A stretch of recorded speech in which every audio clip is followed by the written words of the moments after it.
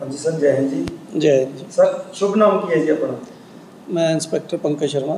ਜੀ ਸਰ ਸਾਡੇ ਵੱਲੋਂ ਪਹਿਲਾਂ ਤਾਂ ਸਾਡੇ ਚੈਨਲ ਵੱਲੋਂ ਤੁਹਾਨੂੰ ਜੀ ਆਇਆਂ ਥਾਣਾ ਕਾਰਕੜ ਦੇ ਵਿੱਚ ਔਰ ਕੀ ਕਹਿਣਾ ਚਾਹੁੰਦੇ ਹੋ? ਪਹਿਲਾਂ ਡਿਊਟੀ ਕਿੱਥੇ ਸੀ ਔਰ ਕਦੋਂ ਤੋਂ ਇੱਥੇ ਇੱਕ ਥਾਣਾ ਕਾਰਕੜ ਦੇ ਵਿੱਚ ਤੁਸੀਂ ਜੁਆਇਨ ਕੀਤੀ ਡਿਊਟੀ ਥੈਂਕ ਯੂ ਜੀ ਬਹੁਤ ਬਹੁਤ ਧੰਨਵਾਦ ਤੁਹਾਡਾ।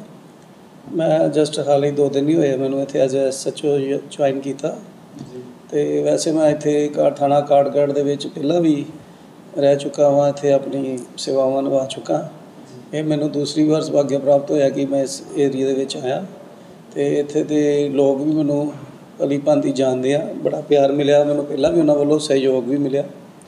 ਤੇ ਮੈਂ ਹੁਣ ਆ ਕੇ ਫਿਰ ਤੋਂ ਇਹੀ ਇਲਾਕਾ ਵਾਸੀਆਂ ਨੂੰ ਬੇਨਤੀ ਕਰਨਾ ਚਾਹੁੰਦਾ ਹਾਂ, ਜਿੱਦਾਂ ਇਹਨਾਂ ਨੇ ਮੈਨੂੰ ਪਹਿਲਾਂ ਸਹਿਯੋਗ ਦਿੱਤਾ, ਫਿਰ ਤੋਂ ਇੱਕ ਵਾਰ ਮੇਰਾ ਸਾਥ ਦੇਣ, ਤਾਂ ਜੋ ਆਪਾਂ ਇਸ ਇਲਾਕੇ ਦੇ ਵਿੱਚ ਅਮਨ ਸ਼ਾਂਤੀ ਨੂੰ ਬਹਾਲ ਰੱਖ ਸਕੀਏ ਤੇ ਮੈਂ ਇੱਕ ਹੋਰ ਗੱਲ ਇਹਨਾਂ ਨੂੰ ਕਹਿਣਾ ਚਾਹੁੰਦਾ ਕਿ ਜਿੱਦਾਂ ਇਹ ਜਾਣਦੇ ਆ ਕਿ ਸਾਡੀ ਸਰਕਾਰ ਵੱਲੋਂ, ਸਾਡੇ ਡੀਜੀਪੀ ਸਾਹਿਬ ਐਸਐਸਪੀ ਸਾਹਿਬ ਵੱਲੋਂ ਇੱਕ ਮੁਹਿੰਮ ਚਲਾਈ ਗਈ ਆ ਨਸ਼ਾ ਖਤਮ ਕਰਨ ਦੀ।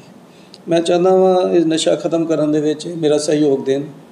ਇਸ ਸਾਹਮਣੇ ਆਉਣ, ਅੱਗੇ ਆਉਣ। ਜਾਂ ਮੈਨੂੰ ਖੁਫੀਆ ਤੌਰ ਤੇ ਕੋਈ ਵੀ ਇਹਨਾਂ ਦੇ ਇਲਾਕੇ ਦੇ ਵਿੱਚ ਨਸ਼ਾ ਵੇਚਦਾ ਹੈ ਤੇ ਉਸ ਦੀ ਮੈਨੂੰ ਇਤਲਾਹ ਦੇ ਸਕਦੇ ਆ।